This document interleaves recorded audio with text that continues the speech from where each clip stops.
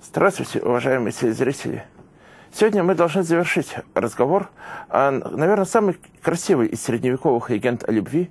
Легенде о любви э, племянника короля Корнуэла Марка из Тристана и ирландской принцессы Изольды. Изольды Белокурой. Или прекрасной Изольды, как э, ее обычно принято называть. Это два, наверное, главных постоянных эпитета, которые сопровождают вот имя этой героини. Изольда Белокурая и Изольда Прекрасная.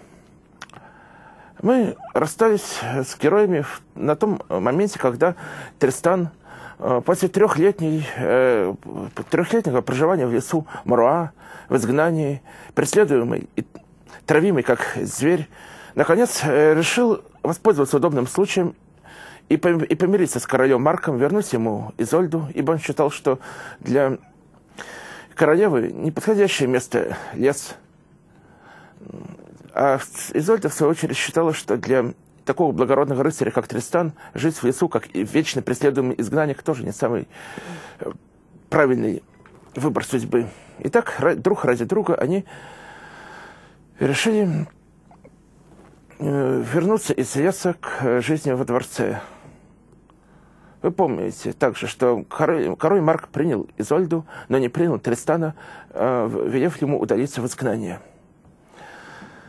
Мы уже также немного поговорили о том, почему король Марк э, так с такой легкостью поверил э, вот тому, что увидел. То есть поверил в то, что э, Изольда, э, проживая три года в лесу, оставалась ему верна помните, он случайно застал Тристана и Изольду спящих в шалаше, и так вышло, что уставший Тристан не снял меч э, и, не снял, и, даже не стал снимать одежды, и поэтому он увидел между лежащими меч и решил, что Тристан спас Изольду от смерти на костре, от, спас от прокаженных, как и полагается спасать ее и охранять ее вот верному вассалу, ну, дальше в лесу он блюдет ее честь и честь короля, и, соответственно, даже вот спят они, положив друг между другом меч после такого времени. Ну, так вот э, началось прощение. Но вот почему Марк э, не, по Марку не пришел в голову, что это некий единичный случай? Ну, во-первых, это, я уже говорил, наверное, человек верит тому, что ему хочется верить.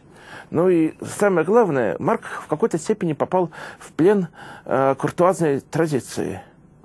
Мы уже не раз говорили о куртуазной любви, э, которая, о которой довольно много писали э, вот, э, э, те, кто авторы жизнеописаний Трубадуров ну, это такая возвышенная любовь, когда влюбленный воспевает, э, как правило, жену знатного сеньора, она дарит ему ну, кольцо, перчатку, еще какую-нибудь э, безделушку, которую он хранит как святыню, и, и, и не более. Ну, она может в конце концов подарить ему э, поцелуй. Ну, во всяком случае, влюбленный и не рассчитывает, и не претендует на большее. Ну, от этой картуазной любви, в том числе и в в жизни трубадуров бывали тоже многочисленные отступления, и в их жизнеописаниях часто рассказывается о том, как трубадур становился любовником своей дамы. Но это частности. А так, вот, э, в принципе, куртуазная традиция предполагала, что рыцарь декларирует любовь к чужой жене, и, в принципе, это хорошо и для ее, и для, и для чести ее мужа. Ну, как же, влюбленный в, в рыцарь воспевает красоту его жены, ж, ну, значит, она самая прекрасная на свете, э, побеждает ради нее на турнирах. Э, ну, вот, все, в принципе, замечательно. Но дело в том, что вот Тристановский сюжет выходит из очень древних кельтских корней. Это, это попытка наложить э, на куртуазной традиции совсем не куртуазный сюжет, который в конце, и в конце концов вот куртуазность отступает на второй план. Здесь Терестен ведет себя совершенно противоположным образом тому, как э, следует вести куртуазному рыцарю. Как мы вскоре узнаем, он женится, и вот будет э, вести себя по отношению к своей жене ну, совершенно воздержанно, в то время как по отношению к чужой жене он э, воздерживаться не будет никогда. Итак, какое-то время Тристан э, предпринимал попытки встретиться с Изольдой. Э, у них были еще э, тайные свидания, ибо каждый из них не мог жить друг без друга. Однажды Тристан заметил, что за ним следят двое из э, тех самых зловредных баронов, которые всю, всю жизнь преследовали влюбленных, и э, он решил, что настало время отомстить им. Одного из баронов он убил во время, ну, когда ехал по лесу к Изольде, э, срезал его волосы, чтобы показать своей возлюбленной. Вот тоже по нашим меркам странный подарок. Но времена были суровые, и, наверное, подарок был э, тот, что надо. Пока Изольда э, разглядывала вот эти волосы, э, еще один барон начал подглядывать в окошко. И тут же Изольда одолжила у Тристана лук и пострелила этого барона. Так из четырех баронов в живых остался только один – вы помните, еще один барон погиб э, в лесу. Во время, в времена, когда Тристан и Изольда жили в лесу, он попал и пал от руки верного спутника Тристана, его оруженосца Гарвенала. В более поздних версиях Гувернала. Ну вот, теперь влюбленным стало очевидно, что больше они не могут оставаться вместе, что за ними следят. И Тристан покинул Изольду снова. Э, вначале он отправился э, в Оэйс, совсем недалеко, недалеко от Корнуэла. Я говорил, что Корнуэлл, Оэйс, Ирландия, Британь, все места компактного проживания кельтов являются одновременно и местом действия романов, э, поэм э, Тристане и Изольде. Наверное, тоже это факт не случайен. Вот мы знаем, что Тристан добывал Изольду в Ирландии, что он э, родился в Британии и вскоре вернется туда, что основные события легенды происходят на Корнуэле или Корнуэльсе. И, наконец, вот Оэйс. Там он, правда, пробыл недолго. Он поступил на службу к эльскому э, герцогу Желену, который э, принял хорошо Тристана. И однажды, когда он ну, очень грустил, размыш... мучительно размышлял о своей потерянной возлюбленной, ему он вдруг увидел чудесную собачку, которую когда-то э, Жиену подарила, герцогу Жиену подарила э, некая дева, нимфа, фея с острова Авалон.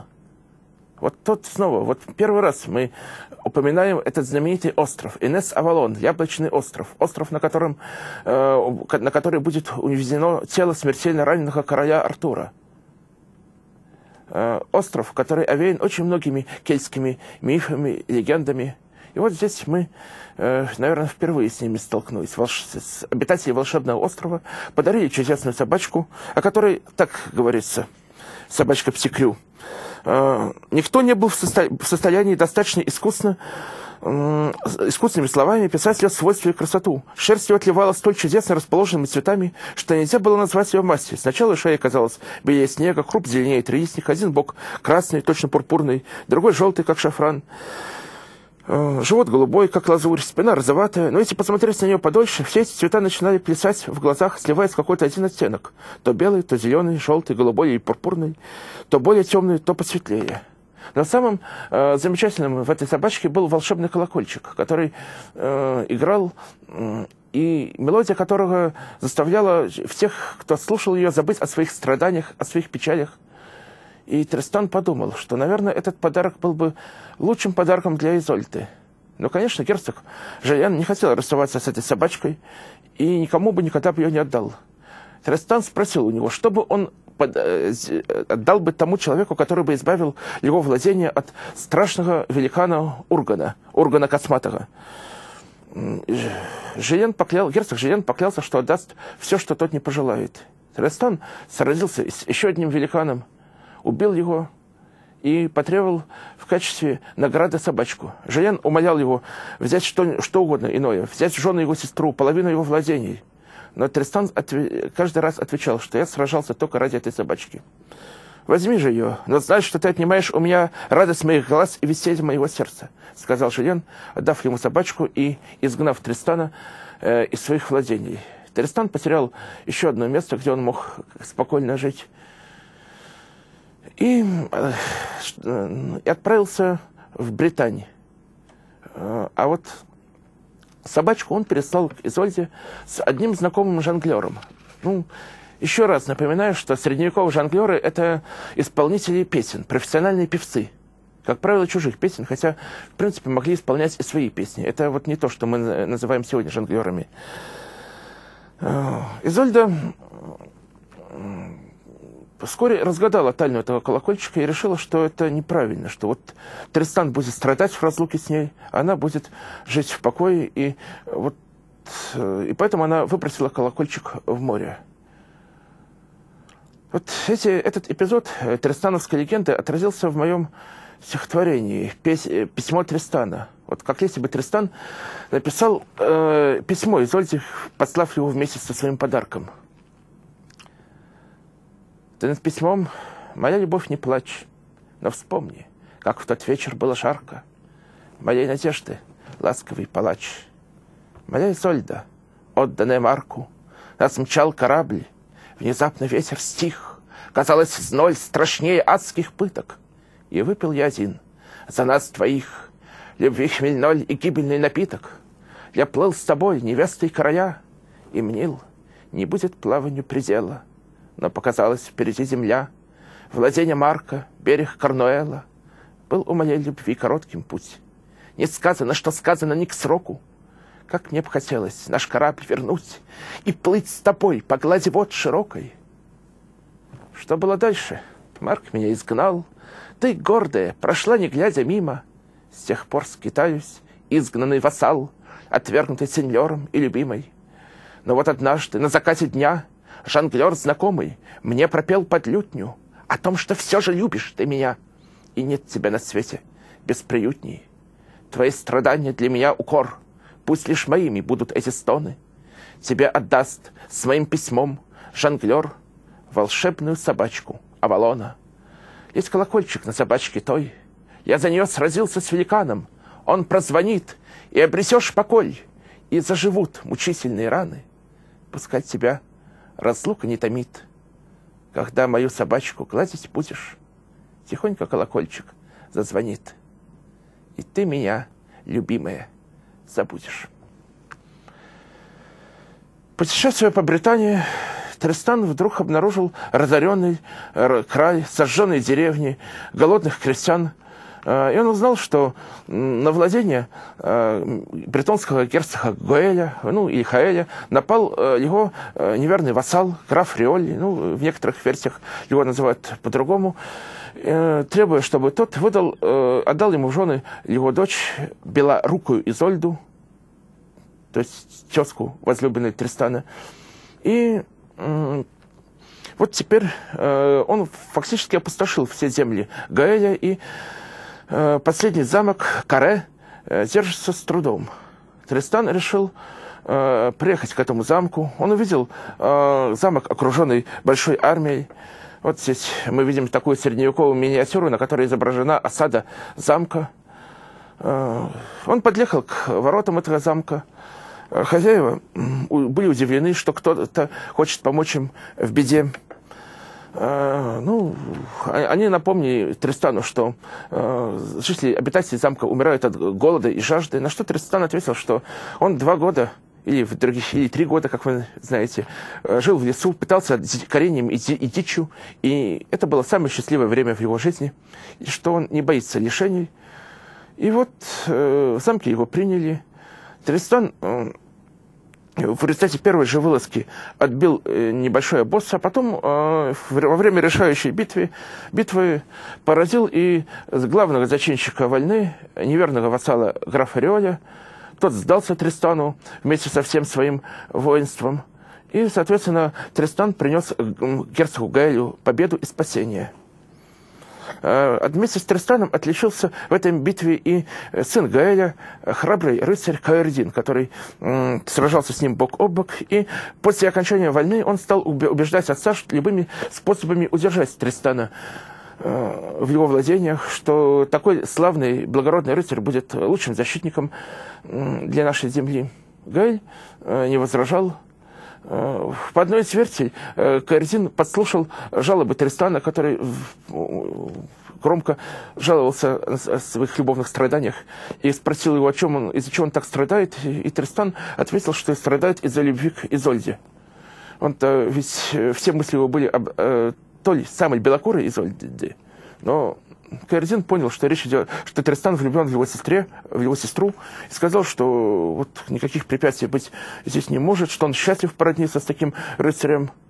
Э, ну и Тристан э, понял, что отказавшись от брака, он обидит своего нового друга, тем более, что Изольда далеко. Наверное, благодаря чудесному колокольчику она уже забыла обо мне. Ну, тоже надо как-то жизнь устраивать, раз уж так все получилось, и раз между нами моря. И он э, согласился, э, допустив еще одну роковую ошибку. Э, но когда настало время брачной ночи, и Тристана, э, слуги, стали, э, слуги с Тристана стали снимать одежду, э, то при этом на пол упал перстень, кольцо из зеленой яшмы, подаренное Тристану Изольдой перед разлукой. Ну, в более поздних версиях, кстати говоря, это кольцо тоже каким-то образом пытаются, ну, повысить в ценности, сделать, ну, это кольцо с каким-то сапфиром, изумрудом, алмазом. Но в ранних, более простых версиях это кольцо из зеленой яшмы.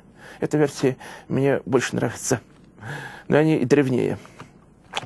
Тристан, и вот увидев это кольцо, Тристан понял, что он не может забыть Изольду, что никто, кроме Изольды, ему не нужен. И вот э, во время брачной ночи он ни разу не прикоснулся к своей молодой жене.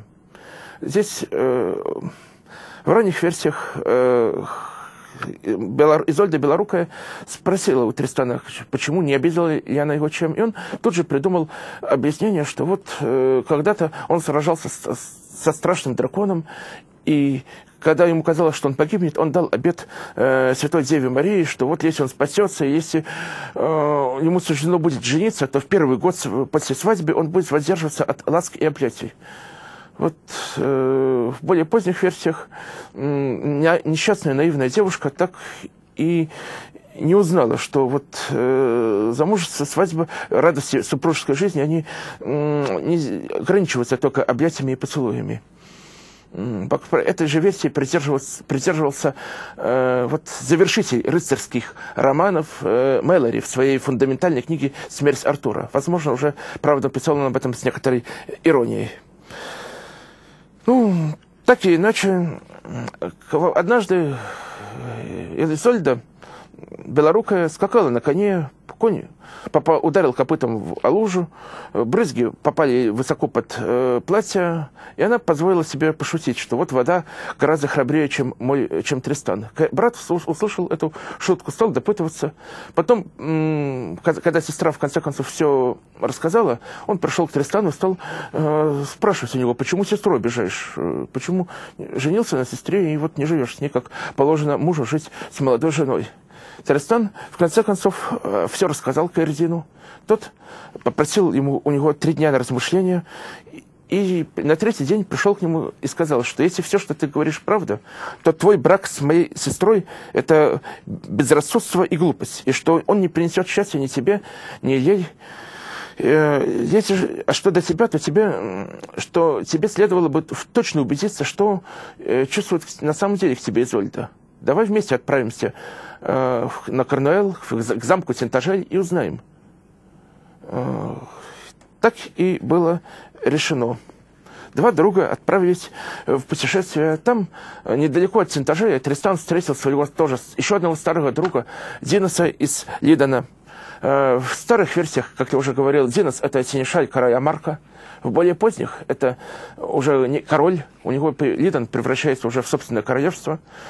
Ну, в любом случае, это во всех версиях это верный друг Тристана, который, э, которому Тристан просит э, помочь встретиться с Изольдой. Он отдает ему кольцо из зеленой яшмы. Тот приходит к Изольде, когда-то играла в шахматы, наклоняется над ней и начинает показывать, подсказывать, э, какие ходы делать правильнее. При этом Изольда, конечно же, обратила внимание на знакомый перстень. Э, смешала фигуры, сказав, что вы запутали меня, я не могу больше играть. И попросила, и назначила его, то, и, и вскоре сказала Лида, Диносу, ну, в каком месте она будет совершать путешествие по Корнуэлу. Вот. И она знала, что Тристан, э, как никто другой, умеет подражать языку птиц. И когда э, из кустов она услышала э, неожиданный, чудесный птичье пение, она уже точно сказала пси, чудесным птичкам, куда она отправляется, и никто не удивился, что вот королева вдруг заговорила с птичками. И, и вот так Тристан мог бы, наверное, встретиться с Изольдой, и, может быть, многие события бы развернулись бы по-другому. Хотя, конечно же, по всем версиям их любовь была обречена. Они... Но, тем не менее, вот случай произошло одно из недоразумений, которые всегда сопутствуют э, героям в рыцарских романах. Неизбежное недоразумение. Некий рыцарь увидел э, в лесу э, знакомые значки на каких-то вот других рыцарях, двух рыцарях, которые скакали по лесу. По крайней мере, один значок был совершенно ему знаком, значок Тристана. Стал звать Тристана. Тот не повернулся, он увидел, что оба рыцаря от него убегают. Он стал звать, заклиная именем Белокурой Изольды. Э, Тристан не остановился. Удивленный рыцарь, пришел, вернувшись в Синтажель, рассказал обо всем э, Изольде, что вот Тристан убежал от меня, хотя его звал, заклиная вашим именем. Изольда э, была страшно оскорблена. Она вере, знала, что Тристан самый сильный, храбрый из рыцарей. И то, что он бежал от какого-то ну, сред, среднего, посредственного рыцаря, хотя его даже заклинали ее именем, ну, значит, знак, верный знак того, что он ее разлюбил. И она э, не пожелала с ним встречаться, сказав, вида, переда, переда, и велела передать своим э, слугам Тристану, что не будет ему от Изольды ни привета, ни любви, и что она не хочет его видеть, и вернув ему его кольцо. Тристан попытался все-таки увидеться с ней, э, объясниться, хотя он понимал, что, что его ждет ему угрожает очень большая опасность, если Изольда его выдаст. Он изменил свою, свою внешность, обрел свои светлые кудри, измазал лицо, э, закутался в рваный плащ и стал напоминать э, прокаженного. И вот он при, прибыл однажды к э, храму, куда шла Изольда к заутренней, чтобы попытаться с ней поговорить. Она выходит, наконец, она направляется в церковь, прокаженный идет за слугами, вертит свою трещотку и молит жалобным голосом. «Королева, подайте мне что-нибудь! Вы не знаете, как я нуждаюсь!» По мощному телу и осанке Изольда его признала. Она вся дрожит, но не доставит ли он взглядом. Прокаженный ее молит. Жалко было слышать его. Он тащится за нею. «Королева, если я смеюсь подойти к вам, не гневайтесь, смилуйтесь надо мной. Я вполне этого заслуживаю». Но королева зовет слух и стражу. «Прогоните этого прокаженного», — говорит она им. Слухи толкают его и блюд. Он сопротивляется и кричит. «Жальтесь, королева!» Тогда Изольда громко рассмеялась. Ее смех звенел еще, когда она вошла в церковь. Услышав ее смех, прокаженный ушел. Королева сделала несколько шагов по церкви, затем ноги ее ослабели, и она упала на колени, головой на землю, руки крестом. В тот же день Тристан распрощался с Зиносом в таком огорчении, что, казалось, он лишится рассудка, и судно его отплыло в Британию. Увы, королева вскоре раскаялась, когда узнала от Зиноса из Лидона, что Тристан уехал в такой грусти. А, она вскоре узнала, что на самом деле Тристан, не Тристан бежал от этого рыцаря, а его слуги, которые должны были сберечь его коней и одежду. Но дело было сделано.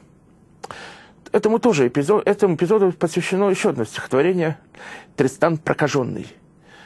Трольд, который упоминается в этом стихотворении, это такой маленький человечек, лесной человечек из средневековых легенд.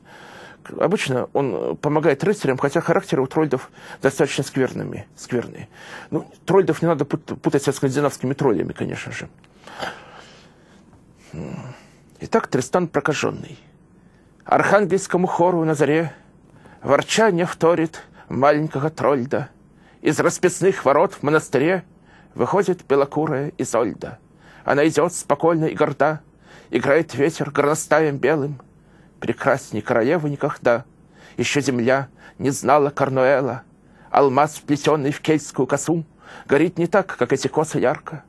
Поет жонглер про гордую красу, ее любовь к блистательному Марку — Всем нищим дарит щедрую рукой, Едва несчастных видит пред собою. Вдруг прокаженный, сломанный клюкой, Упал пред нею с жалобной мольбою. Прекрасная владычица, живи! Я не прошу ни серебра, ни злата, Но подари мне капельку любви, Которой так душа твоя богата. Она мгновенно сделалась резка, Покрылись щеки пятнами от гнева. Немедля прогоните дурака, Вассалом приказала королева, и в храм идет, а он за ней вслед, не замечая криков и побоев. Уже и в сердце сострадания нет тому, кто, к тому, кто на коленях пред тобою. Ты мне дала однажды горький яд, из рук твоих его я выпил снова, но исцелит меня один твой взгляд, всего одно, но ласковое слово. Уже и здесь нет доброго кнута, и верного вассала нет уже. Кто покарает наглого шута за смех над королевой Тинтажея, а нищий ей? Сильна моя вина, я погубил свою любовь и счастье. Но если боль, раскаянию цена, я заслужил прощение и участие. Все смолкли, слезы на глазах у тех, кто гнал его назад еще мгновение. Но тут раздался королевы смех, исполненный холодного презрения. И нищий прочь, потупившись, пошел. Та в храм вошла в спокойствии великом и пала вдруг, как мертвая на пол, у алтаря с почти беззвучным скриком. Брел нищий к морю сквозь густой туман, не слыша плача маленького трольда. И знал из всех людей один Тристан, что узнан был он лишь одной Изольдой. Однако влюбленным суждено было еще раз встретиться. Эту последнюю встречу Тристана и Изольда описывается в анонимной поэме Тристан Леродивый. Он однажды Тристан, не сказав никому, покинул Британию, попросив корабельщиков, чтобы те взяли его и отвезли к замку Тинтажель. Там, на берегу Корнуэла, он обменялся одеждой с одним крестьянином. Тот с удовольствием взял богатый наряд Тристана, отдав ему свой э, бедный. И вот он э, снова изменил облик, э, переоделся как э, в Леродевого, э, то есть обрил снова волосы, оставив только крест на голове. В некоторых версиях он берет свою знаменитую арфу, а ведь Тристана часто изображают с, с арфой в руке. И вот он начал и, и направился к своему к замку Тинтажей. Вскоре его окружили э, дети. Вот здесь как раз мы видим э, одно из, один из витражей Габриэля Данте Рассети вот, который, э, на котором изображен Тристан в окружении э, улюлюкающей толпы. Э, когда Тристан вошел в замок, играя своей дубинкой, слуги и конюшни столпились вокруг и стали травить его, как волка. «Поглядите на помешанного! Угу-гу!» Они кидали в него камнями, колотили его палками. Но он терпел это, прыгая и предоставляя себя на их волю. Если на, на него нападали слева, он оборачивался и бил палкой направо. Среди смеха и крика, увлекая за собой беспорядочную толпу, он добрался до порога залы, где под балдахином, рядом с королевой, сидел король Марк. Он подошел к двери, повесил на шею дуби, свою дубину и вошел. Увидав его, король сказал — вот славный собеседник. Пусть приблизится. Его привели с палкой на шее. «Привет тебе, дружок», — сказал Марк. Трицан ответил до крайности, изменив голос. «Государь, добрейший и благороднейший из всех королей, я знал, что при виде вас мое сердце растает от нежности. Да хранит вас Бог, славный повелитель. Зачем пришел ты сюда, дружок?» За Изольдаль, которую я любил. У меня есть сестра, которую я вам привел, прекрасная Брунхильда. Королева надоела вам, попробуйте эту. Поменяемся, я дам вам сестру, а вы дайте мне Изольду. Я ее возьму и буду преданно служить вам». Король засмеялся. «Если я тебе отдам королеву, что станешь ты с ней делать? Куда ее увезешь?» Туда, наверх, между небом и облаком, в мое чудное хрустальное жилище. Солнце пронизает, пронизывает его своими лучами. Ветры не могут его поколебать. Туда понесу я королеву в хрустальный покой, цветущий розами, сияющий утром, когда его освещает солнце. Король и бароны смо... говорят между собой. Славный ты дурень, на слова мастер. Он сел на ковер и нежно смотрит на Изольду. «Друг», — сказал ему Марк, — «откуда у тебя надежда, что моя жена обратит внимание на такого безобразного дурака, как ты?» У меня есть на это право. Я много для, для нее потрудился, из-за нее я с ума сошел. Кто же ты такой? Я Тристан, что так любил королеву и будет любить ее до смерти. При этом имени Изольда вздохнула, изменилась в лице и гневно сказала ему. «Ступай вон! Кто привел тебя сюда? Ступай вон, злой дурак!» Он заметил его гнев и сказал. «А помнишь лишь ты, Изольда, тот день, когда раненый отравленным мечом Марольда, плывя по морю со своей арфой, я случайно пристал к ирландским берегам? Ты меня исцелила? Неужели ты не помнишь этого больше?» «Вон отсюда, дурак!» — отвечал Изольда. «Не нравятся мне ни твои шутки, ни ты сам. Помнишь ли ты королева Изольда, большого дракона, которого убил в твоей стране?»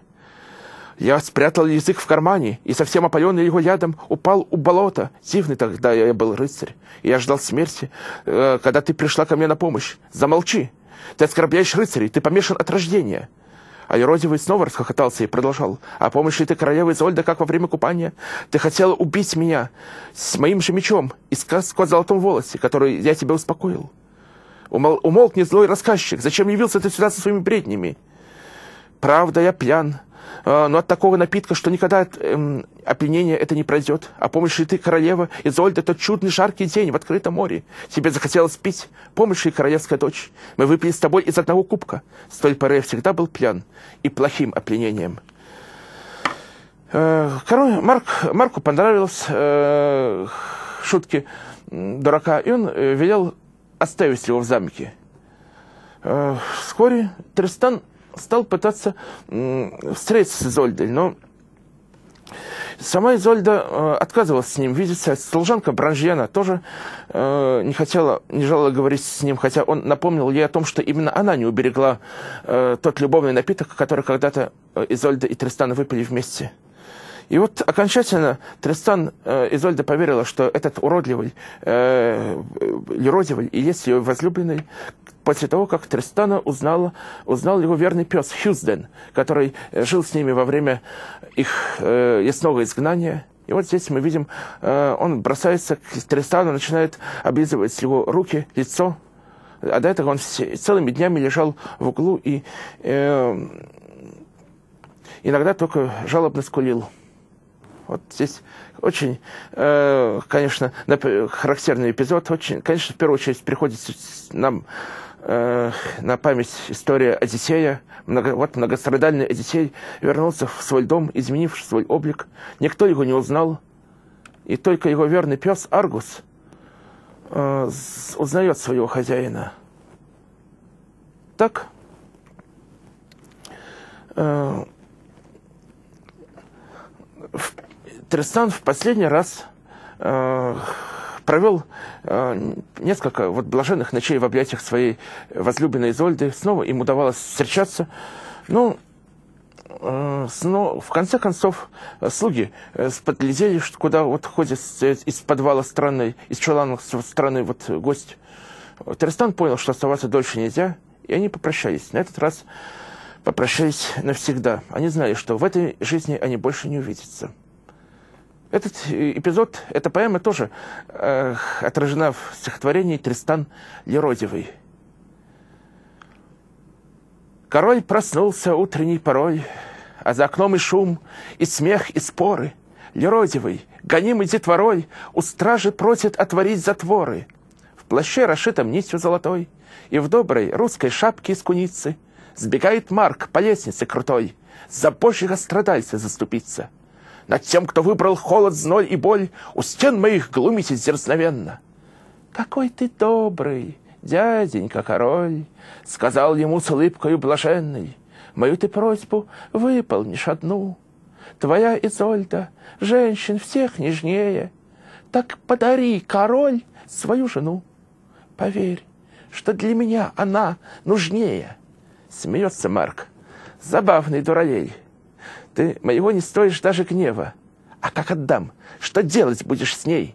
Как накормить ты мыслишь королеву?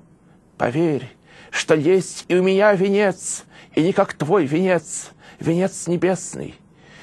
Из песен я построил ей дворец, дворец хрустальный, облачный, чудесный. Ей ангелы подарят тишину и музыку, мелодий всех нежнее. Отдай же мне, король, свою жену. Поверь, что для меня она нужнее. Король в ответ. Несчастный идиот. Бери ее хоть нынче, ради бога. Но знай, с тобой Изольда не пойдет. Ей не нужны воздушные чертоги. Ее согреть не сможет блеск меча и накормить жонглера песнь пустая. Нужны и золоченая парча, и добрый плащ, подбитый горностаем. Я заплету алмаз в ее косу, а ты, мой милый, босс и нищ к тому же. Моя жена пыталась жить в лесу. И вот, как видишь, возвратилась к мужу. И, видав Изольду, наконец, спросил с насмешкой, потирая века, «Не хочешь ли в заоблачный дворец уйти за этим добрым человеком?» А нищий ей пойдем со мной, пойдем. Обручены мы и с землей, и морем, хмельным напитком, выпитым вдвоем, минутой счастья и бессрочным горем. Нас обручил любви благой закон и рук твоих целительная сила. Не для тебя убитый мной дракон, цветы, что свяжут наши две могилы. Мы друг для друга созданы судьбой, лишь для тебя мои мольбы и песни. Скорее же, уйдем, уйдем с тобой в дворец хрустальный, облачный, чудесный. Ее как будто опалил огонь. Она дрожит, как ласточка в синетах. Прижав к колбу горящему ладонь, Изольда ищет слово для ответа. Налился кровью старый мой рубец. Мне исцеления не найти, уже ли? Я так хочу в заоблачный дворец. Я так хочу остаться в Синтажеле. За счастье я страданием плачу, но я жива, покуда я страдаю. Не знаю я сама, чего хочу. Мне кажется, я ничего не знаю. Меня смутил и напугал дурак. Он на меня глядит лесным сатиром. Прошу тебя, подай ему медяк и отпусти его из замка с миром. А мне жена понравился болван. Меня смуш... смешить он будет неизменно. Пусть он займет под лестницей чулан, и пусть ему постелят слуги сена. Я дам ему и хлеб, и серебро, и новый плащ, ему я дам в дорогу, и развлекусь, и сотворю добро, и стану сам еще угодней Богу. И слуги отвели его в чулан, и затворился нищий нелюдимый. Впервые в жизни слезы лил Тристан. Впервые он не узнан был любимый. В Британии э, Тристана вскоре настигла э, смерть вот здесь, на этом рисунке, из засады его поражают отравленной стрелой. Хотя в большинстве версий все-таки речь идет о отравленном копье.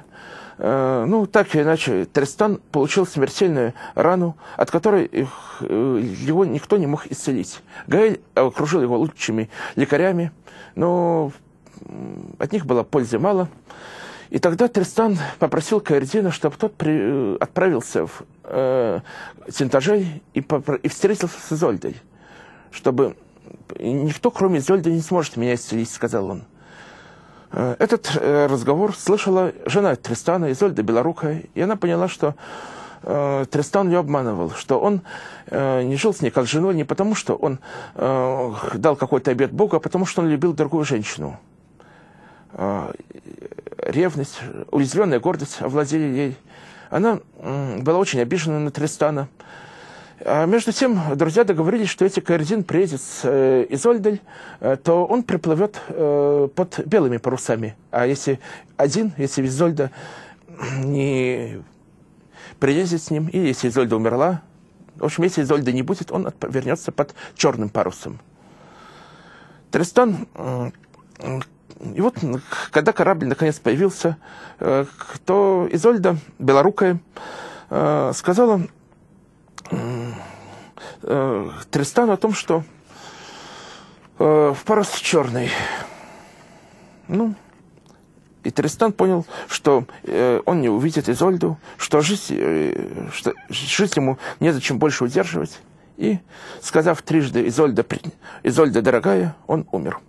Что до путешествия Каэрдина, то ему удалось перехитрить всех. Он притворился купцом, разложил драгоценности перед э, королем Марком и Изольдой. Там среди драгоценных камней он положил кольцо из зеленой яшмы, по которому Изольда поняла, что он посланец Тристана.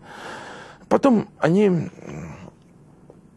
Потом она уговорила мужа, чтобы он отпустил ее э, на берег моря посмотреть э, на корабле у купца какие-то еще иные украшения, потому что он уж очень э, много у него хороших товаров. Сопровождал Изольду барон Андрет, вот последний, самый зловредный из, из баронов, самый главный враг Тристана. Когда Изольда поднималась, поднялась на корабль, Андрет, конечно же, последовал за ней, как человек, которому было поручено охранять королеву. Был сброшен ударом весла в море и утонул в море. Так вот, э, последний из врагов Тристана погиб. Между тем, и вот, и вот корабль с Изольдой причалил к берегу. Она видит, что жители Каре оплакивают, кого-то оплакивают, звонят колокола. Она узнала, что э, у одного из прохожих, что умер э, их господин сэр Тристан. Она э, не спеша поднялась по лестнице. Э, между тем, около, над телом Тристана горько рыдала его жена, которая уже жалела о том, что о своем обмане, вот Изольда Белорукая. Другая Изольда вошла и сказала ей, «Встань и дай мне к нему подойти. У меня больше прав его оплакивать, чем у тебя, поверь мне. Я сильнее его любила». Она обратила лицо к востоку, помолилась Богу. Потом слегка приоткрыла тело, легла с ним, своим милым поцеловала его в уста, в лоб и нежно прижалась к нему. Тело с телом, уста с устами. Так она отдала душу, умерла с горя по своему милому. Э, Марк, король Марк, узнав о том, что случилось, велел сделать э, для э, влюбленных два гроба. Один из, для Стерестана из Берила, для Изольды из Халцедона. Они были похоронены в разных частях по обе стороны часовни, но вскоре из их могил вырос терновник, ну, или говорят какие-то другие цветы, но чаще всего говорят именно про чудо с терновником. И терновник переплелся. Э, Марк приказал его срезать. Э, и так стерновник срезали три раза, пока, наконец, в четвертый раз он снова не вырос, и его решено было не срезать никогда. Очень тоже сюжет, например, имеющий параллели в ирландских легендах. Вот я одну из таких приводил легенд, когда, например, на месте э, смерти двух э, влюбленных выросли два дерева, напоминающие своими очертаниями их лица. И вот когда из этих дерев, э, деревьев сделали дощечки, на которых написали какие-то истории о любви, то дощечки эти, принесенные в одно и то же место, вдруг прыгнули одна к другой, склеились, так что их нельзя было разделить. Но вот это уже отражение этих легенд в более позднюю эпоху.